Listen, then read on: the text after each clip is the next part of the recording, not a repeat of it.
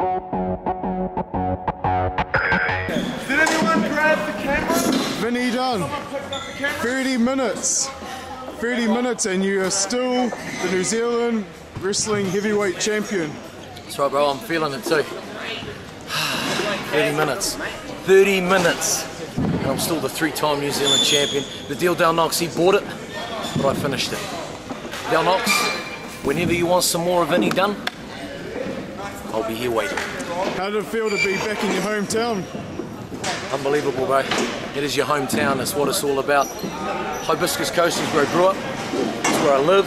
It's where I work. It's where I train. Being here is the most important thing to me.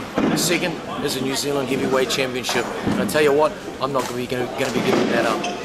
Anybody, they want a shot, come get some.